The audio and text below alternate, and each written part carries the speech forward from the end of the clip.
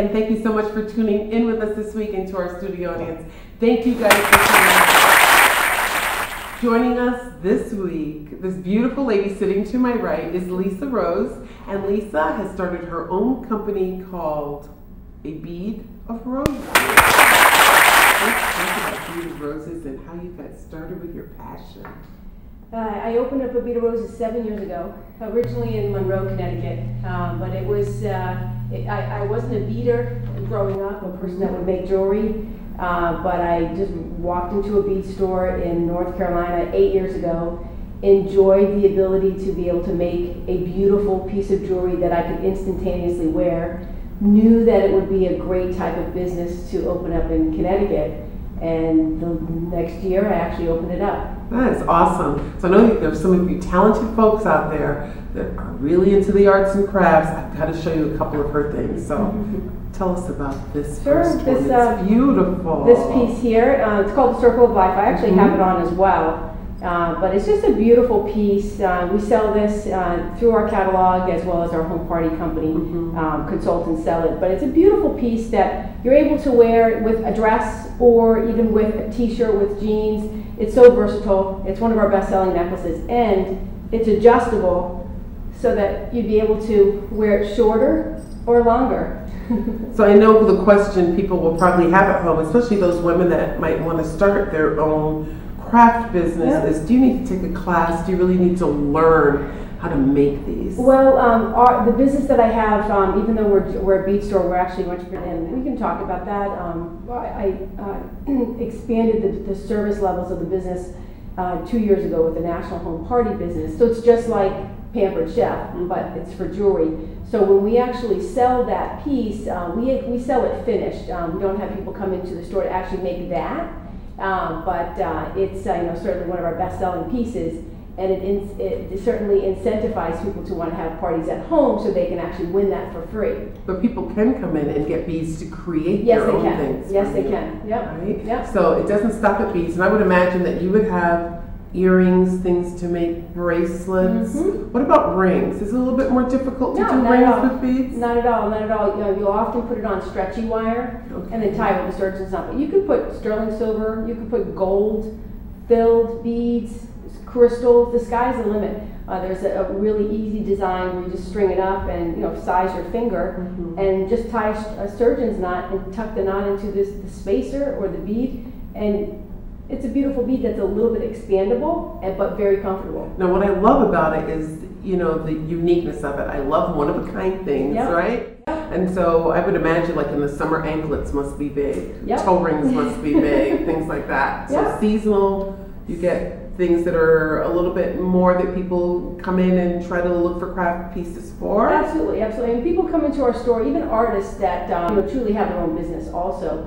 Um, they'll come into our store just to get inspired to see what's trending, what's new. Our store, uh, Bead of Roses, has a little bit more of a slant towards using leather and then something sparkly, leather and pearl, because we like the combination or the marriage of the two of natural versus Mm. crystal, because it, it, it appeals to everyone or most people. Uh, so, you know, we've, we've definitely got a little bit of an edge, but a classy edge when it comes to our jewelry design. So what else is trending now?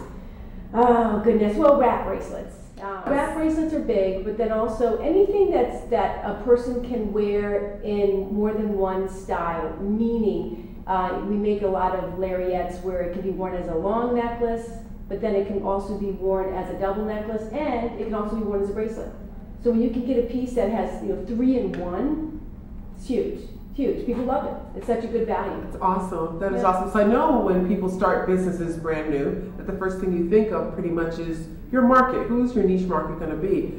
Your market's got to be huge. Well- From little girls, Well, Girl. Scouts, brownies, all the way to grandmothers Exactly. who do arts and crafts. Yes. Correct? Yes. And the Uh, whole gamut. Yep, all right, we actually have, we do birthday parties in the store too, so besides being a, a full-service bead store, we also do birthday parties where girls as young as five years old have incredible birthday parties. parties. Yeah, it's not just a regular plastic bracelet or, and ring that they walk out with.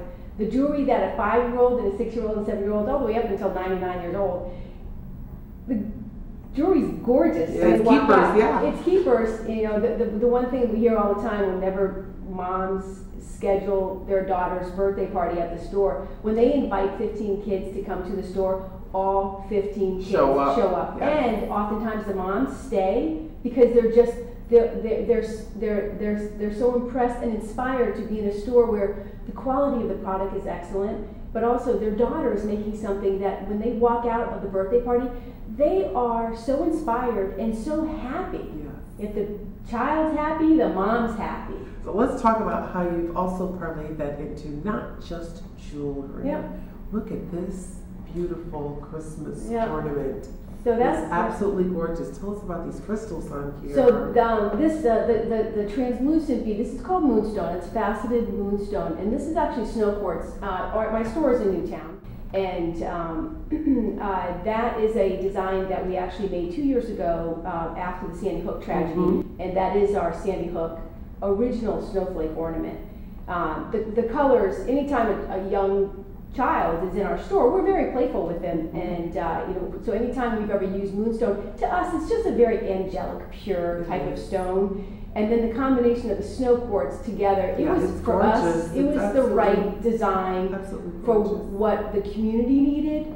Um, Against the light. yeah, it's beautiful. Actually, a lot of people they certainly put it on the Christmas tree, but they actually keep it all year round as a sun catcher too. Um, put it yeah, I was gonna say, yeah. or yeah. even on. Uh, you know, your, uh, sh- I've seen them from chandeliers. I've seen people use Mhm. hurricane lamps and a big candle in the middle, and then drop Mhm. that on the outside of a hurricane lamp, and the entire room will actually sparkle. It's beautiful. It's a great idea. Yeah. So you do a lot um, outside of your business for the community. And so I would like to show a short video clip. But first, before we see that clip, Mhm. tell us about this family that you and your pals went and helped. It's just Oh, it got my heart. just Yeah, yeah, and that was actually the, the first, one of the first big um, events that got me hooked on just helping people uh, and always doing something. Back then, it was once a year something big like a home makeover, which that was in the Bronx. But um, uh, you know, we've, we've since I'm addicted to it now. Now, now it's not just once a year. It's you know, it's what I do. yeah. But you know, my business it's a it's a for-profit business, and I have a managing partner that's that's with me also uh, running the business. But um, we get a chance to give back on a daily basis by working with so many foundations to help them raise money for their missions, and in return, uh, you know, we get a chance to make beautiful jewelry for them most of the time, um, but be part of their mission too. Uh, so it's it's it's twofold. Uh, so going back to uh, Sheila, uh, when we found out about the family and, and just the tragedy of what had taken place, uh, it was a, phone call to, to Rich first, as ironically, uh, where I just ran it by him to say, you know, what, what, what do you think about doing a home makeover? We were all in Yeah, so it's a grandmother that lost her daughter and going to take in six of her daughter's children, eight. or eight, Yeah. eight of her Yeah. daughter's children. Yeah, All right, and so they let's all young babies. And they're all young. Young kids. So let's take a quick pause here and we're going to take a look at that video clip. hmm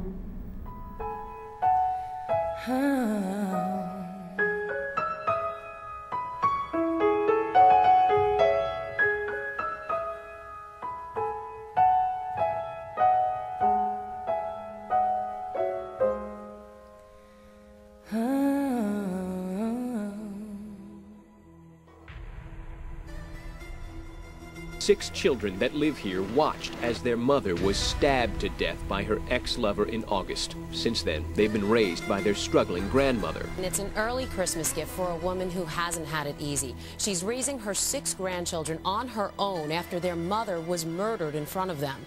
But now the holiday will be a little brighter thanks to some complete strangers. It all started this morning when Sheila and her six grandkids were picked up from church in a limo for a day in the city.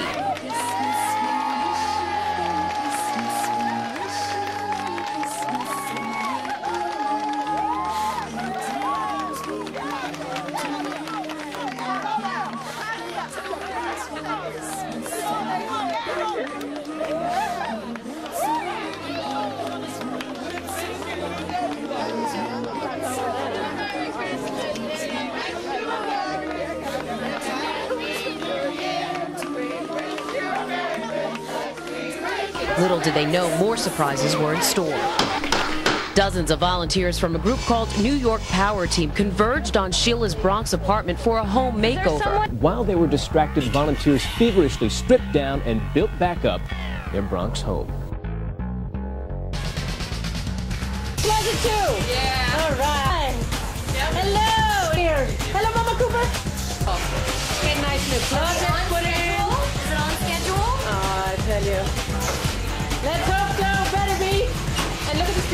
They painted walls, scrubbed floors, and rolled out rugs. It was out with the old and in with the new, transforming the family's apartment Call it a labor of love. Call it a random act of kindness. Just don't tell this tireless team of volunteers they can't make a difference in one day. whoever gets to hear about this, I hope they get inspired by this. It's one day out of out of our life. Actually, this ambitious group had only 12 hours to completely make over this house, from new bathrooms to furniture, appliances, and don't forget the Christmas presents and the tree, all for a Bronx family in desperate need of a break. Well, they don't have any mom or dad. They don't have any mentors whatsoever. The grandmother is, is doing everything she physically can. We want them to know that that we're, we'll be here for them. hope, faith, you know, that there are, you know, just to know that there are good people in the world that really, really care. This is actually the second time some of these volunteers are here in this apartment. Last month, they delivered a Thanksgiving basket here. They say they were so taken with the family, they wanted to do more. They were excited. They were hugging us because we brought food and games and things for the kids at Thanksgiving. So they went to work spreading holiday cheer to a family who needed it.